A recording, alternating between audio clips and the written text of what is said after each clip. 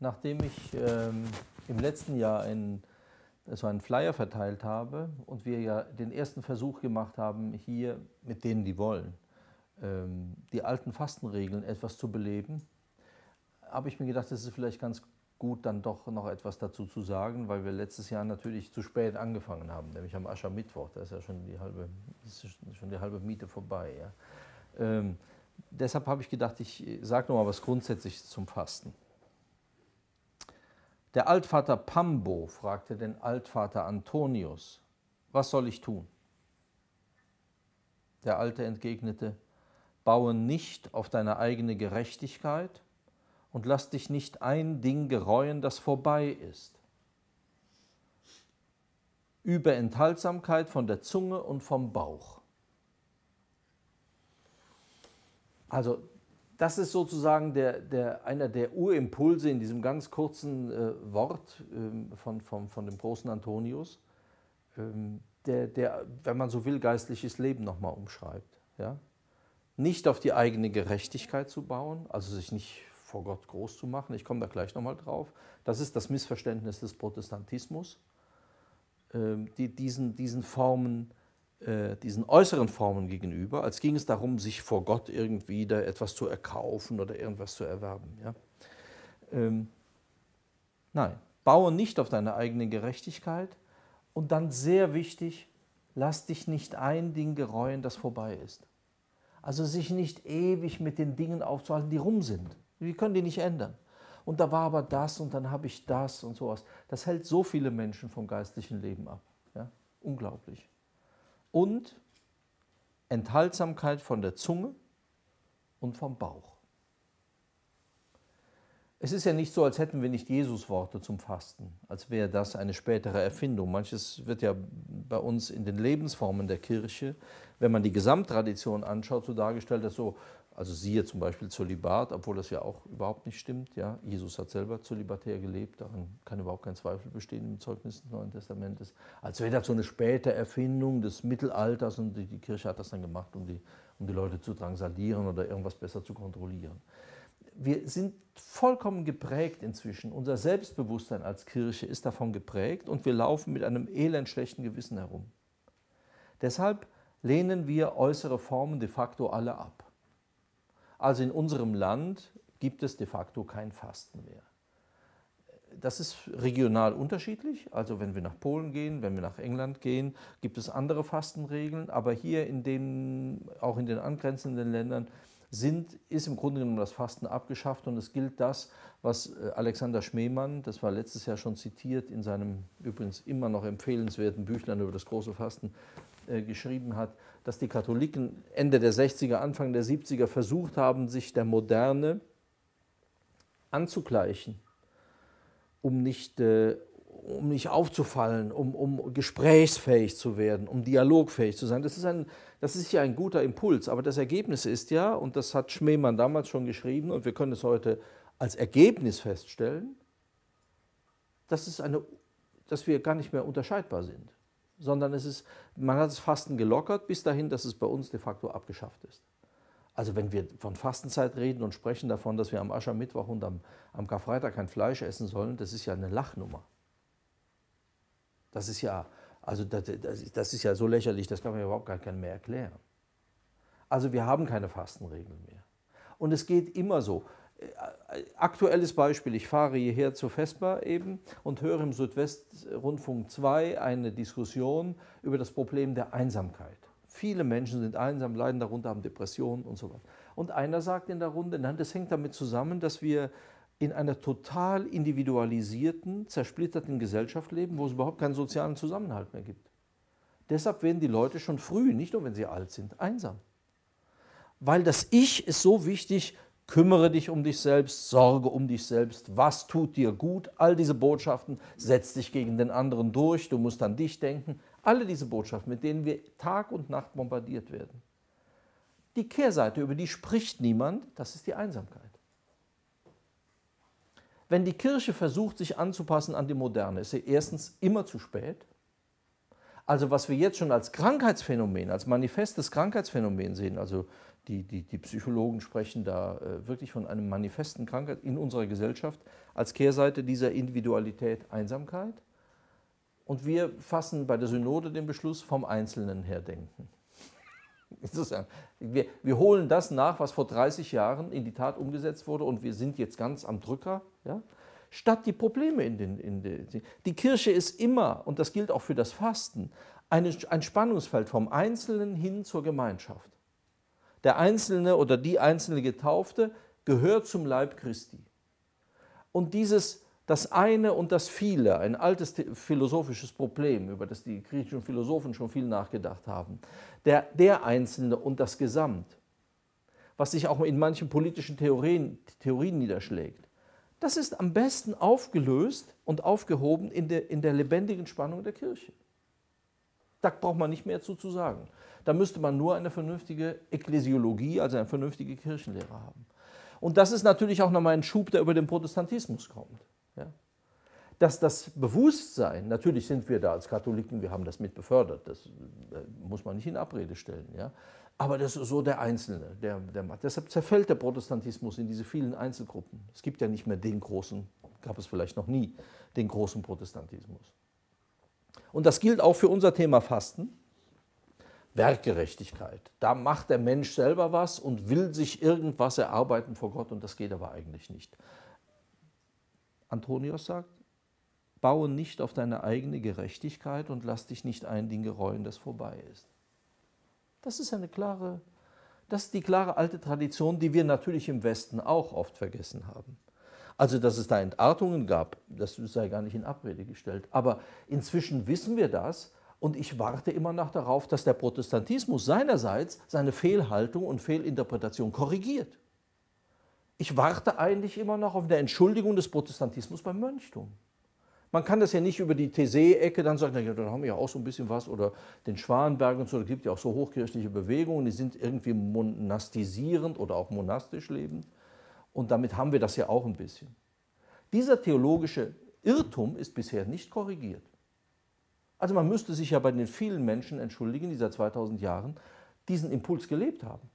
Statt zu sagen, das waren alles so, pff, muss man nicht ernst nehmen. Das ist ganz merkwürdig. Das klagt aber in, dem, in der sogenannten Ökumene niemand ein.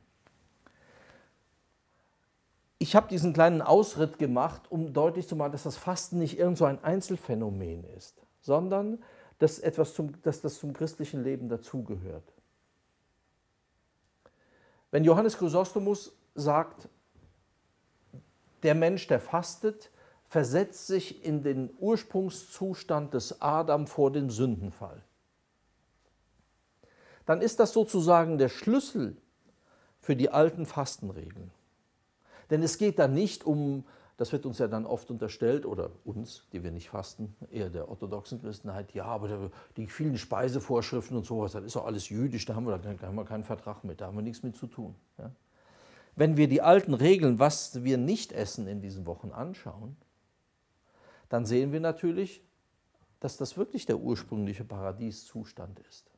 Und wir können es ja heute ganz aktuell sehen, dazu muss man weder grün wählen noch irgendwie ökologisch sein oder bei Attac oder sich sonst wie engagieren, dass die, auch die Weltwirtschaft zusammenbricht, weil die Menschheit so viel Fleisch frisst, kann man nicht anders sagen, was vorher nie der Fall war. Die Entwicklungen sehen wir auch. Die Gesellschaften, die enorm Fleisch verzehren, die Mädchen kommen spätestens mit acht, achteinhalb, neun in die Pubertät und die Jungen auch immer früher. So. Also wie sich das verschiebt wie sich, welche Auswirkungen das hat. Frühsexualisierung der Gesellschaft und äh, von bestimmten pädagogischen Hirngespinsten äh, kann man ja gar nicht lang genug warten, dass man schon im Kindergarten alle Sexualpraktiken beibringt. Das ist im Moment das Neueste. Das hängt auch mit der Ernährung zusammen. Die alte Weisheit, die uns natürlich heute vielfach auch im Markt begegnet, ich habe jetzt gar nichts von Anselm Grün mitgebracht, das habe ich auch nicht, aber es, es, gibt auch von unverdächtigen oder unverdächtigeren Autoren, wenn ich zum Beispiel hier das Fasten der Mönche sehe, von Seewald herausgegeben und Bernhard Müller, die Botschaften, die hier drin stehen, da unterschreibe ich keine von. Da sind natürlich viele Weisheiten der Väter hier, aus der Wüstenväter oder großen Väter, herausgenommen. Aber sie sind alle gemünzt auf unseren Individualismus.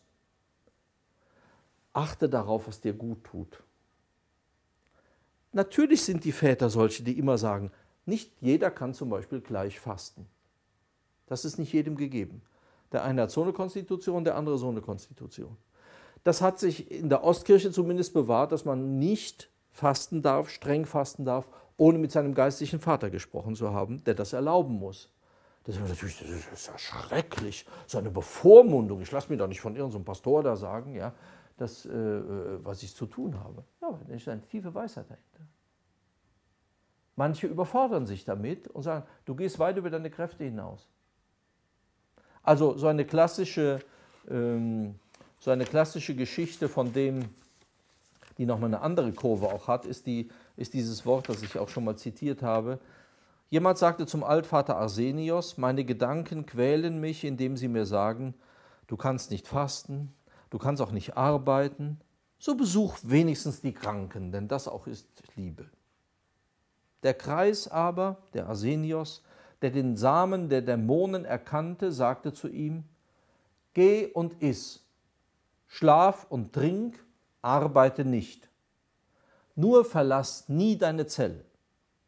Er wusste nämlich, dass das Ausharren in der Zelle den Mönch in seine rechte Ordnung bringt. Also diese, ich kann das nicht, also mache ich was anderes. Aber ich bin dann unterwegs. Das kann man so oft im, im, in geschlossenen Systemen wie Klöstern erleben. Da kommt man auf die Idee und dann hat man das. Und, aber das ist doch auch schön. Und so zu sagen, bleib du bei, beim Wäscheaufhängen. Sonst nichts. Du kannst sonst, mach nur das. Aber das machst du. Alles andere ist vom Bösen. Und das gilt eben auch für das Fasten, wenn Evacuus Ponticus zum Beispiel sagt, der, der eine muss das Schwergewicht darauf legen, darauf legen. Okay. Daraus machen wir, und deshalb ist das fast gefährlich, wenn ich das hier zitiere, man muss das Gesamtbild sehen, daraus machen wir, naja, soll halt wieder jeder nach seiner Fassung selig werden. Wir brauchen keine Regeln. Das Schlimme ist, und das ist ein grundsätzliches Problem, die Ausnahme ist nicht die Regel. Das ist unser Problem, das wir im Moment gesamtkirchlich haben. Auch in Frage, also da mache ich jetzt keinen Ausritt zu, in Frage der, der Wiederverheirateten, die geschieden sind. Was, wie das mit der Kommunionzulassung ist. Die Ausnahme ist nicht die Regel. Die Ausnahme bestätigt die Regel, die bestehende. Ich kann also nicht den Ausnahmefall jetzt zur allgemeingültigen Regel erheben. Damit zerstöre ich alles. Und wir sehen das im, vielleicht im kleineren und vielleicht weniger gewichtigen, das weiß ich aber gar nicht, ob das so weniger gewichtig ist, im Fasten. Jeder soll das für sich selber bestimmen. Also dann haben wir die Vorschläge hier vom Bistum seit vielen Jahren Autofasten. Das kommen wir immer schon, das gähnt die 70er Jahre, als wir, als wir sozusagen die Ölkrise hatten und, und es war, gab den autofreien Sonntag. Ja? So, die, die, diesen Charme hat das. 70er Jahre, Helmut Schmidt-Regierung, das weiß gar kein Mensch mehr. Ja? Aber das ist immer, das ist aktuell, das ist modern. Ja? Das kann man machen. Ich habe nichts dagegen, ich will das noch nicht ins Lächerliche ziehen. Ja? Aber das ist nicht christliches Fasten. Das kann ein Element sein, aber es hat mit dem christlichen Fasten rein gar nichts zu tun. Wir tun das für die Umwelt und für die Schöpfung, da kommt Laudato Si und alles ist irgendwie nett. Ich meine, das wären nicht Theologen, wenn sie das nicht begründen können. Wir finden für alles eine Begründung. Ja? Können alles schmackhaft machen. Aber mit christlichem Fasten hat es rein gar nichts zu tun. Nichts. Weil das christliche Fasten ist eine, hängt mit, der, mit dem Verständnis und der Gesamtkonstitution des Menschen zusammen wenn wir eben den Chrysostomus zitiert haben, mit dem, mit dem Adam vor dem Sündenfall, dann müssen wir unsere, unsere Schöpfung und wir selber in dieser Schöpfung ansehen, wir leben nach dem Sündenfall. Wir sind davon alle beschädigt. Wir haben durch diesen Sündenfall alle eine Schramme wegbekommen. Niemand kann sich davon freisprechen. Und so, diesen Realismus braucht es, um überhaupt, zu, überhaupt christliches Leben zu verstehen. Wir, wir verstehen ja gar nicht, warum es einen Heiland, warum es einen Erlöser braucht, wenn wir das nicht annehmen. Als Grundbeobachtung dieser Welt, dass sie eine versehrte Welt ist, eine beschädigte Welt.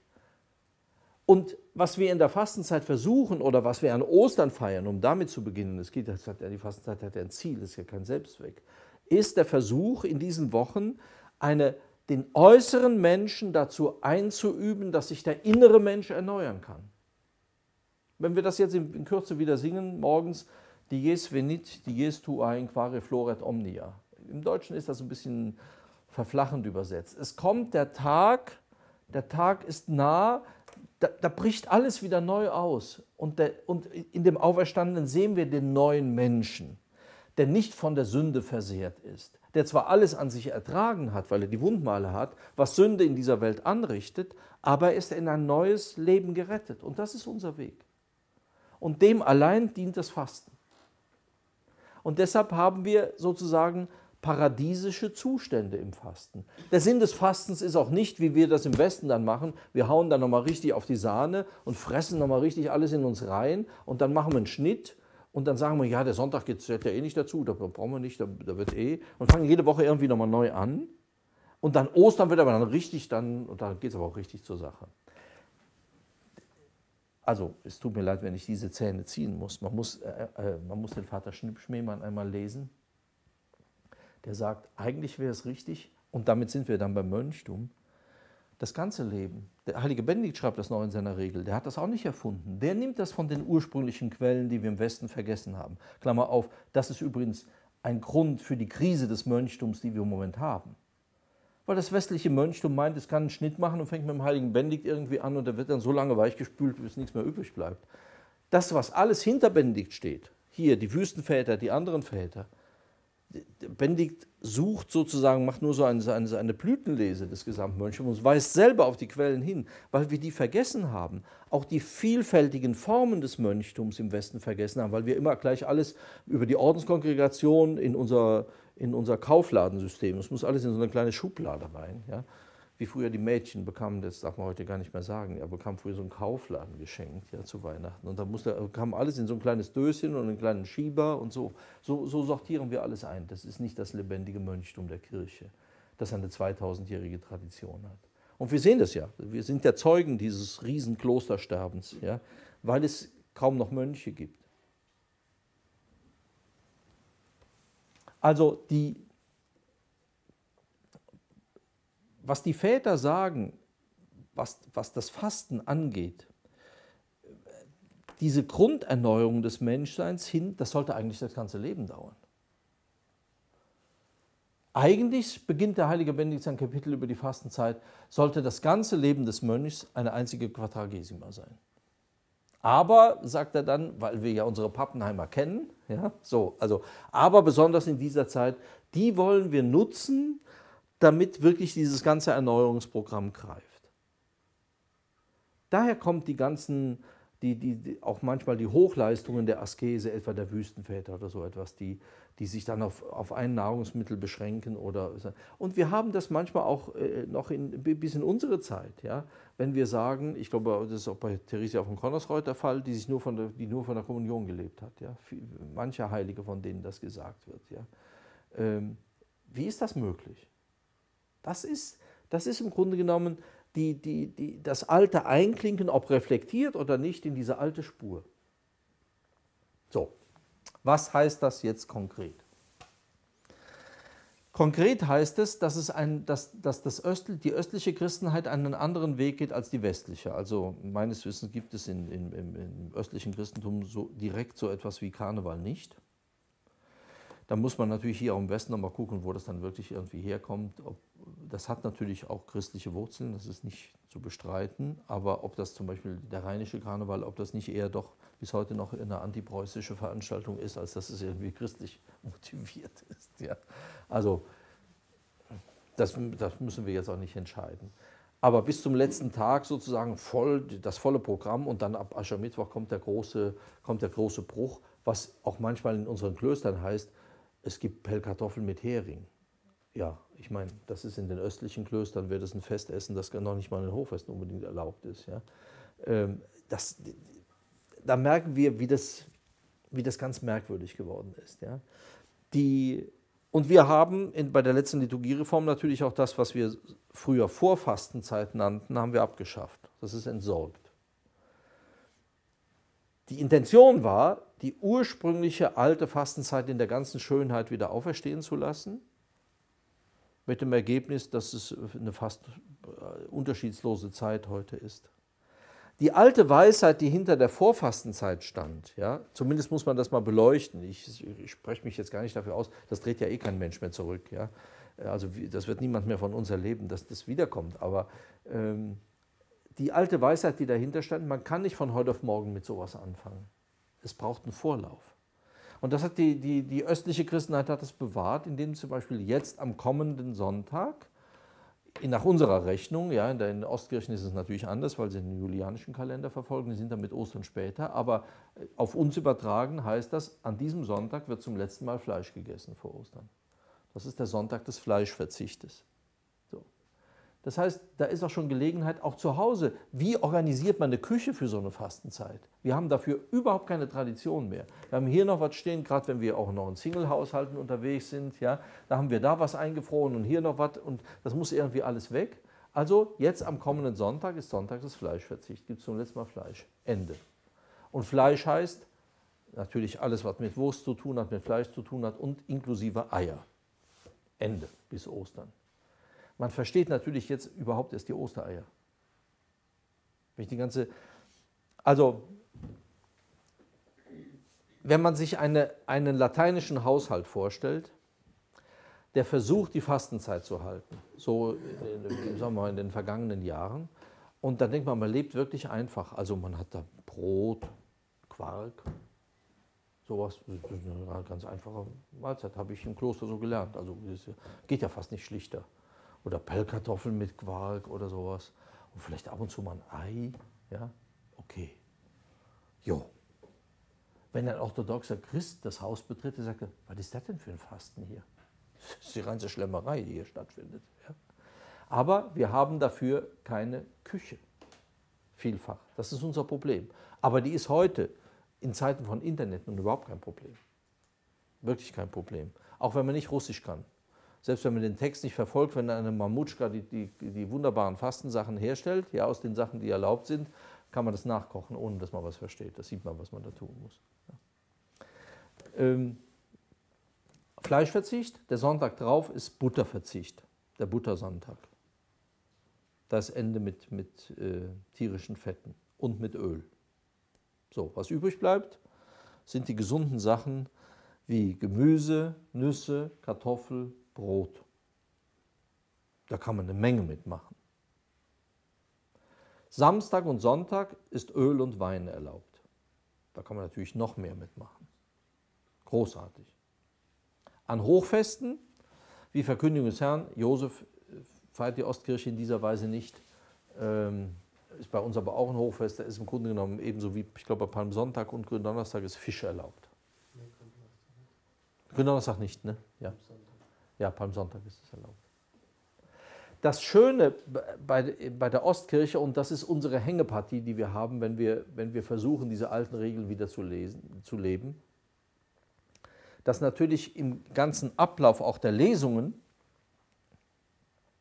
in den, welches, welches ähm, ich glaube, ist der barmherzige Samariter beim Fleischverzicht? Nee, der Nee, ist der Zöllner ist. Der Sonntag des Zöllners ist das. Ja, genau. Ähm, da ist, ähm, dass natürlich das alles kombiniert ist, dass die, dass die Texte dann wirklich zu dem Schritt passen, den man macht. Viele der Lesungen sind, kommen bei uns auch im Laufe der Fastenzeit vor, aber sie sind natürlich anders, äh, anders akzentuiert, weil man sie ganz auf die Taufvorbereitung äh, aus, ausgelegt hat und jetzt nochmal neu geordnet hat. Ja. Ähm, das ist oft ein Problem. Und natürlich das Problem, dass wir als Lateiner ja eisern daran festhalten, jeden Tag die Messe zu feiern. Die, die äh, ostkirchliche Christenheit feiert dann in der Woche über die Liturgie der vorgeweihten Gaben und die, die, äh, die große Liturgie nur an den Sonntagen. Ja. Und, das ist, und das ist dann die Basilius-Liturgie, die etwas länger ist als die Chrysosmus-Liturgie. Aber das, die Auferstehung selber, die jede Eucharistie ist, feiert man dann nur am Sonntag. Und das hat durchaus nochmal etwas, sodass es auch da ein, quasi ein eucharistisches Fasten gibt. Also man kann sich ja schwer in der Ostkirche eine, eine, so eine ganz schlichte Messe in der, äh, wenn man das jetzt mal ein bisschen äh, zuspitzt, eine ganz schlichte Messe irgendwann in der Passionszeit oder sowas vorstellen. weil es ist, das ist für uns natürlich der, die, die schwere Spannung, die man manchmal so als Zelebrant hat. Okay, ich kann das ganz schlicht machen. Also wir machen das ja hier auch mit bestimmten Dingen oder besonderen Akzenten, aber es ist immer, es ist die gleiche Eucharistie, die wir sonntags feiern, es ist immer die gleiche Eucharistie. Es gibt das, wenn wir so, so, so frei nach Freischnauze reden, Werk das Mess und das Hochamt. Ja, wo ist denn da der Unterschied? Das ist überhaupt kein Unterschied, das ist dasselbe. Das ist das gleiche Sakrament, das wir feiern. Ja. Und das hat bei uns auch eine merkwürdige Entwicklung genommen, aber hängt nur, alle diese Dinge verstärken nochmal diesen Aspekt, wirklich durch diese, durch diese Rundumerneuerung zu gehen. Das Äußere hilft dem inneren Menschen. Beides korrespondiert miteinander. Und wir sagen oft, naja, das Äußere ist nicht so wichtig. Also das ist eine uralte Geschichte, die in allen Zusammenhängen, ob wir über Liturgie reden, über die Schrift, egal über was, das taucht immer wieder auf. Im geistlichen Leben taucht das immer wieder auf. Sind äußere Dinge wichtig oder sind nicht die inneren Dinge wichtig? Wir würden das klar beantworten und sagen, ja, aber es kommt wichtig auf das Innere an. Das ist nicht falsch. Aber der innere Mensch braucht immer die äußere Einübung. Ohne Disziplin ohne äußere Disziplin gibt es kein geistliches Leben. Das ist ganz klar. Es gibt kein, da kann man noch so charismatisch sein, sonst irgendwie sonst rechtsrum, linksrum bewegt, sonst irgendwie. Ohne eine Form von Disziplin ist geistliches Leben schlicht unmöglich. Punkt. Es gibt keine christliche Quelle, die ernst zu nehmen wäre aus der Tradition, die irgendetwas anderes behauptete. Deshalb unsere Ablehnung jeder Form. Wir stehen ja in diesem jetzt, wir ernten ja jetzt erst das, was im Grunde genommen vor 50 Jahren angefangen hat. Das kommt jetzt erst eigentlich richtig, diese Welle kommt jetzt erst richtig gerade in der Kirche an. Und wir werden hierzulande, wenn das so weitergeht, darunter begraben. Das wird alles wegge weggespült. Es gibt uns in 20 Jahren nicht mehr, wenn, wenn die uns diese Welle mit voller Wucht trifft. Dann sind wir nämlich so unterschiedslos, dass uns gar keiner mehr braucht weil wir die Formen missachten. Und es ist immer eine Korrespondenz zwischen Außen und Innen. Das Äußere kann natürlich bigott werden. Das kann zum, zum Selbstzweck werden. Dann ist es hohl. Darüber setzt sich Jesus im Evangelium oft genug auseinander. Auch mit seinen Leuten, die ihm dann gegnerisch auftreten. Und er sagt, naja, ihr achtet auf alles, dass die, dass die Schüsseln innen sauber sind, aber ihr würdet besser das, was innen Schüsseln ist, den Armen geben. Da ist etwas zum Selbstzweck geworden, zur Erstarrung. Diese, diese Gefahr hat Religion immer. Dass etwas, sagen wir das ruhig, reiner Ritus ist. Das läuft. Das ist das, was Papst Benedikt äh, in seiner Freiburger Rede bei den Jugendlichen gesagt hat oder in der Freiburger Rede auch gesagt hat. Nichts ist schlimmer für Religion als die Routiniers des Glaubens. Das klappt schon. Ja? Oder Zuländer nennt das klerikalen Atheismus. Der Laden läuft, das klappt wunderbar, die Gelder fließen, die Leute sind angestellt, äh, wir machen was, wir sind organisiert. Ja. Das ist ein Riesending, der die Kirche ist der, der zweitgrößte Arbeitgeber in diesem Land. Ja. Und ah, hat es auch einen Inhalt? Kommt Gott irgendwie vor? Also wirklich vor? Wird er ernst genommen? Werden wir dadurch in Frage gestellt? Nein, das läuft einfach. Unter der Überschrift Kirche sucht Kunden, weil der Betrieb muss ja weiterlaufen. Und der Rückzug nur in die Innerlichkeit, das ist oft genug, und das sehen wir jetzt auch, aber in der Folge einer größeren Individualisierung, dass Menschen sich zurückziehen, weil sie dieses ganze, weil sie auch manchmal angewidert sind von diesem Geschäftsmodell Kirche, aber sie ziehen sich nicht wegen mangelnder Plätze und Orte auch in eine Gemeinschaft der Kirche zurück, wo sie leben könnten, sondern in ihr eigenes und verkommen da und werden dann einsam und leiden darunter und sagen dann am Schluss, keiner versteht mich mehr. Niemand ist vor dieser Gefahr sicher.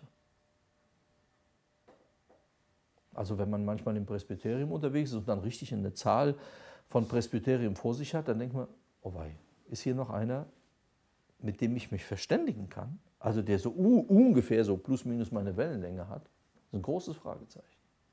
Und das geht nicht nur Priestern so, sondern das geht vielen so. Deshalb gilt die Einladung zu einem konsequenten Fasten. Ich habe mir die Freiheit erlaubt, auf der Gottesdienstordnung von Februar, zumindest rechts am Rand immer, anzumerken, was, was wegfällt. Und also das ist ja jetzt dann ab Sonntag fällt das Fleisch weg und ab dem äh, nächsten Sonntag dann die tierischen Fette und Öl. Und das wird so weitergehen bis Ostern. Wenn da steht dann rechts immer daneben Öl und Wein erlaubt. Viel mehr kommt da nicht. Ja. Also und ich ermutige alle, äh, das mal zu probieren. Es gibt wenig Zeugnisse, ich wüsste jetzt keines, aber da müsste man natürlich wahrscheinlich mehr Russisch und mehr Griechisch können, wie viele Leute jetzt dieser Fastenzeit zum Opfer gefallen sind.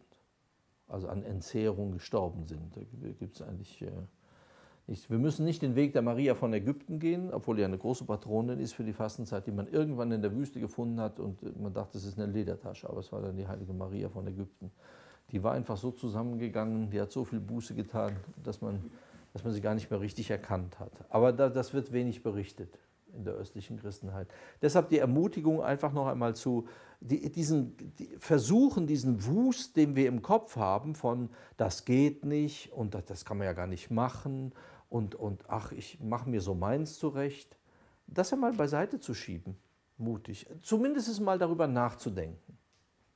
Und dann kommen natürlich sofort die, die sagen, ja, aber wenn man ein bestimmtes Alter hat, dann brauchen wir nicht mehr fasten. Ja, ich meine, das ist auch so witzig, ja. Wenn man sich mal die, wir haben eh schon kein Fasten mehr und dann gibt die Bischofskonferenz noch Altersgrenzen, ab wann wir nicht mehr fasten müssen. Das ist doch wirklich eine Befreiung, oder? Also ich glaube, man kann den wahren Weg der Befreiung gehen, indem man sich diesen alten Regeln anvertraut und ich werde dann auch dieses Blatt nochmal auflegen. Ansonsten kann ich dieses Buch von, vom Vater Alexander Schmemann nur empfehlen. Äh, weil man damit nochmal nicht nur die äußeren Formen, sondern auch das innere Anliegen der, der Fastenzeit versteht. Und ich glaube, das gelingt hier in der östlichen Christenheit weitaus besser. Er ist nicht unkritisch der eigenen Sache gegenüber. Er hat viel, viele kritische Anmerkungen dazu drin. Das gelingt hier doch besser als in dem, was wir eigentlich wollten nach dem Zweiten Vatikanischen Konzil, die Fastenzeit so wieder in, in Stand zu setzen, dass sie eine, dass sie eine Qualität auf Ostern hin hat. Das haben wir versucht, aber ich sage es einmal vorsichtig, ich habe große Fragezeichen, ob dieser Versuch gelungen ist. Dankeschön.